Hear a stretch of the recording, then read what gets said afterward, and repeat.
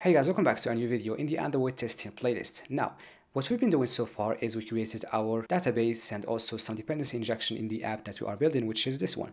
Now, what we are going to do is creating our notes repository with its, of course, abstraction and implementation and the fake version of it that we will use for testing. And as well, in this video, we'll also create the load notes and delete notes use cases and test them. So all of that in this video. Now, let's get started with it. So let's just close everything that we have open let's close these to just have a clean package structure. Now where are we going to have our repository? Inside domain create a new package called repository. That is called node repository. That's an interface. Actually y right here. We'll have three functions abstracting a node deleting a node and getting all the nodes. So let's create some space if you can already see fine.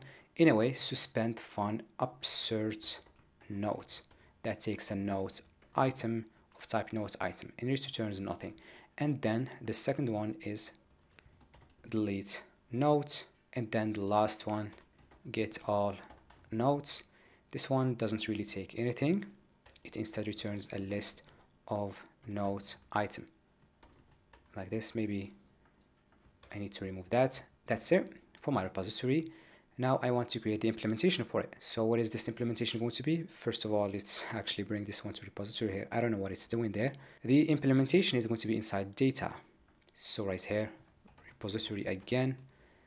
That's going to be node repository implementation. This implements my nodes repository. Let's override those functions and this repository needs the database instance our own database. So let's just create space. This takes a node db of type node db and then want our DAO private var node DAO is going to be my node db dot node DAO. Okay, all we are going to do is calling those functions. We won't actually test these functions in here because they are already tested with this DAO because we're simply only going to do node DAO dot upsert node entity passing my node item dot to node entity for answers. We already tested these functions and we create this repository and we'll create the fake version to test the use cases. And then we'll test the use cases or create the use cases to use them in the view model. And then we'll also test the view model. So that's how it goes. This repository won't be tested, okay? To delete a note, note DAO dot delete node, passing my note item dot to note entity for deleting, and then return node dot get on node entities dot map it to node item. That's it for my repository. It's very simple. Now I want to do some dependency injection to provide this repository and that's going to be again inside the DI. Of course, uh, usually we have another one called repository module in which we have an abstract class that has abstract functions that we, we use to provide those. But the problem with that is that when we want to uninstall our module right here, if we go here, we'll have to uninstall a bunch of modules and we can do that and then pass the other modules that we want to uninstall. But the problem is that it doesn't work. It doesn't uninstall. It for me at least and I've tried the only solution is to create build flavors which means we need to come here and then create new build types. So a testing build type in which we only provided those testing and fake dependencies fake repositories and stuff which is something a bit more complex and uh, I think that will be too much for you in this first beginner testing playlist that I'm doing so I'm not going to do that. I'm just going to have all my dependencies in one module and just uninstall that module in my test cases and of course provide the fake versions in my test app module. And in the future I may do more complex test stuff in which I create more build flavors in which I have those testing dependencies provided okay? So in here I once again provide singleton like this. Fun. Provides node repository this one needs node db like this and it returns a node repository. So return node repository implementation passing my node db. So here I have it. I just need to copy this now. Go to my other DI in testing, paste it. We don't need any database for testing. Now we will create a fake node db like this. So how is it going to look like? We'll go to data we just want to copy it actually. We'll go to data again in here create a package called repository. Of course now we're going to create the fake version so fake node repository like this. This doesn't take anything in the constructor. We can get rid of that. Because this is unit test we don't need any database or anything. And how this note or fake note repository is going to look like let me just paste it for you and let's see. We have note items list which simulates our database maybe I have some extra stuff I want to delete and let's import it right here and let's go back to it this note items represents my database my table okay and I have my functions. When I want to upsert a note, I upsert it to my list. It's like upserting it to a database. And we can't access database. Uh, maybe now I'm in the Android test. Okay, we can actually access our database right here, but we don't want to. Now let's actually create it in the unit test. So right here. So let's copy like this, and then it will be core dot data like this, and then let's paste it. To not be confused, this one is, let's just rename it this one is fake Android note repository. This one now is inside the Android test package. So it's called Android. Let's not worry about that one. Now we are interested in the second one. So let's just close this one. This one in just unit test, in local unit test. So as I said, this represents my database. And when I insert something, I just add it to my list. When I delete it, I remove it from the list. And then when I want to get I get all the items or I just get list simply okay? It's of type note item which is exactly what I get in my interface as you can see. And uh, this one of course we have this interface and we can create a bunch of implementations for my interface. Here is a fake implementation for my unit test my local unit test. And then this function is let's say when the user already has some items in the database and then they open the app so there will be items displayed. So that's exactly why we have this function. Should have field list. If that is set to true we'll have some items in the database already. So when we say get items or get all nodes we'll get these. But if it's set to false then we'll get an empty list. So it depends. If we want the items we can set this to true. If not we can just leave it. Okay so that's the fake repository. Now let's continue my app. So here i have my real repository right now that accesses the real database. And this these functions in my DAO are already tested, they're already working fine. What I want now to create is my use cases for deleting a note and loading all the notes so get all the notes from the database. And since that feature only belongs, so let's check the app, that feature only belongs to this screen in which I have the notes list and deleting a note also belongs to this screen. That means I need to create a package for that. In my root package, I'll create a new one called note list inside it I will have a package called domain.use case maybe like this. Oops I have a problem. Underscore. In here I will have now my two use cases. So let's create the first one which is get all nodes okay? That's going to be a class like this. And this class needs my repository now. So private var nodes repository. Like this let's import it. Maybe it's called nodes repository not nodes repository. That's a mistake like this. Now, since we want to inject this one to this uh, use case, let's first provide that as well. So let's go to core di app right here. And then we just need to copy this, paste it, provide get all nodes use case like this that needs now my nodes repository. It returns my get on nodes and then it returns get on nodes passing my node repository here I just provided it. And I actually need another one for deleting so let's just create that one first in here. So delete note like this. Okay this one will be provided as well. So let's just copy it paste it. Provide delete note use case and delete note use case delete note use case. Now I have them provided. Let's copy this. Let's go to our Android test package core the i and let's provide those as well in here because we need them. Just like this we don't have to change anything. Let's actually rename this one into delete notes like this and let's get to this first one get on notes use case. We'll have an operator function invoke and since we already saw in the app that we can order the notes by the title or the date added so when we get these nodes, we need to specify in which order. So let's create space by just passing a boolean that is is order by title. So the default is date, but if you want them by the uh, title, then we can pass this. And then we won't implement our function. Why? because we'll first create the test cases for it. Okay, so that's test driven development. So test, we'll, we'll use JUnit 4 and this is a unit test. So we, we won't access any Android framework components or resources or anything like that. So it will be inside the unit test. So let's close the Android one. Let's go to the unit one, note list. This is my use case. And now let's write tests for it. Now I need two rows again. So let's just create some space down here.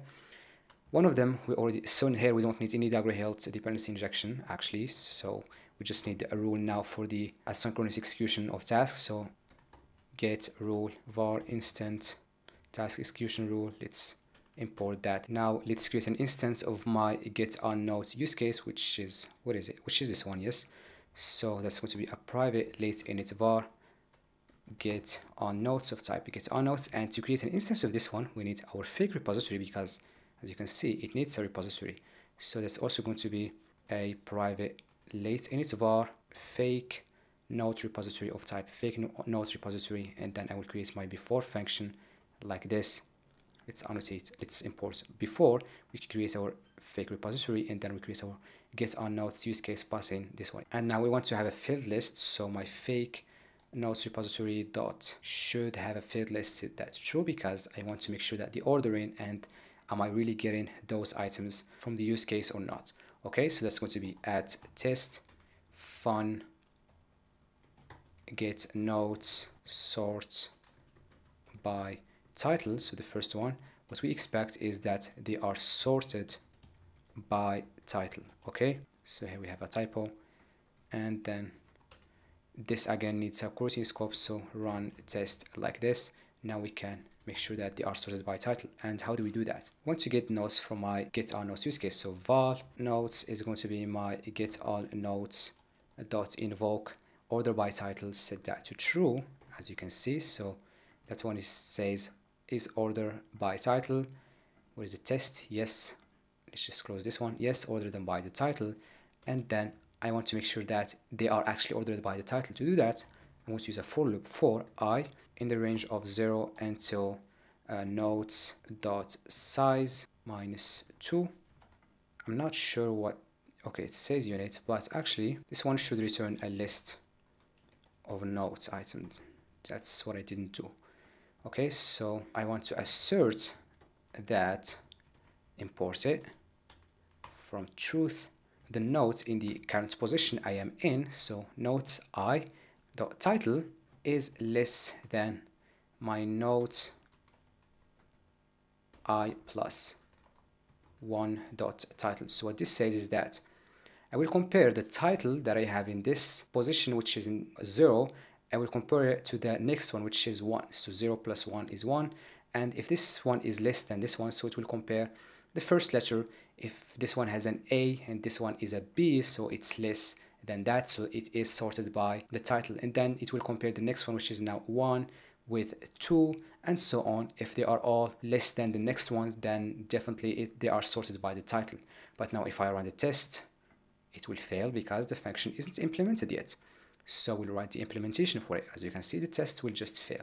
So right here, what we are going to do is we're going to write return if is order by title. That's going to be something else, something else. So when we want to order by the title, we're going to use our nodes repository dot get on nodes dot sort by it dot title dot lowercase. So we want to sort them by lowercase and this one has to be a suspend operator fun so let me just remove this fun suspend operator fun because this one is a suspend function. So we want to sort them by the title and then we lowercase the title because with uppercase letters we'll get problems. Now we just want to copy this for if we don't want to sort them by the title that's going to be the date added and we don't have any lowercase now. Okay so that's the sorting. If it's order by title then we order them by title. Otherwise by the date added. Great. Now Let's run the test again since we implemented our function and hopefully it passes. I don't know what just happened. Let's just wait or run it again because I don't see any result. Okay, the test passes and everything is great. Now we want to see the other case which is ordering by the date. So order by date added, sorted by date added like this and then this one is going to be false. Now we'll compare if our date added is less than this other date added of the next item. Let's run this test again and see if it passes or not. It does pass. Okay, that's exactly what we want. We can also write another test which is if we don't want to have a field list. So let's say now since actually we want to have field lists only in these two, let's paste it in there, but let's create another test for when we have an empty database. Make sure that we actually get an empty list. So get notes from empty list, for example, we get an empty list. That's what we expect. So we should have a field list set to false that we don't want a filled list. And let me just create a little bit of space here. We want now to get everything. It doesn't matter the sorting now. All I care about is the notes are actually empty. So it's going to be assert that note dot is empty. Let's run this because here we don't have a filled list. Hopefully it passes. If not we'll see what problem that we have but we have no problem. Let's run all our tests and see they are all passed. So our use case is well implemented. Now, let's move on to the next one, which is the delete node use case. Let's create a test for it as well. So generate test like that. And then of course a unit local test or local unit test. Let's delete this one. In this one we need similar things. So you just copy them uh, in this test. So we need these things. You just copy them and paste them right here. Let's create space. Except that we don't want the get all but delete node like this. So delete node is delete node great. Now let's run our tests again and just actually copy one of these so that we just save some time and let's change it. So what we want to do is delete node from list or from database or whatever.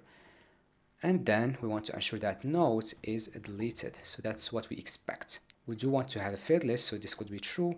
And since that's the only function that we want to that's the only test that we have we can have this in the setup function there. Now we want to delete a note that is already in the list. How do we know that? Let's go to our fake repository. So here are all the notes that we have. All I'm going to do is take one of these and then delete it from the list. So all node is going to be this one. So this note that is already there in the database.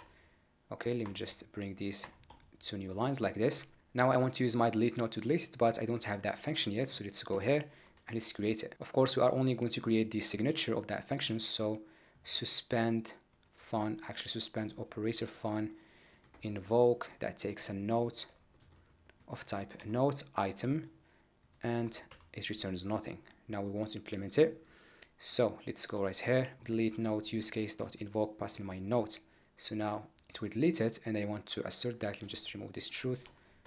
Import it. Maybe make sure that I don't import the wrong one. So I want to make sure that my fake note repository dot get on note dot contains this one which is the node that I just deleted. Let's bring this to a new line.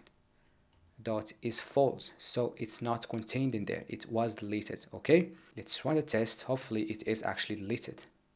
And it is not so the test fail. Let's see why. And the reason why is of course we did not implement the function yet that's exactly what we want. So this is test-driven development. Now we will implement the function. That is going to be my nodes repository dot delete nodes passing my nodes. Let's run the test again. And let's see if it passes or not. It does pass. My use case is working. So both those use cases that I just created, which are deleting nodes and getting on nodes are working just fine. And this is it for this video. See you in the next video and bye.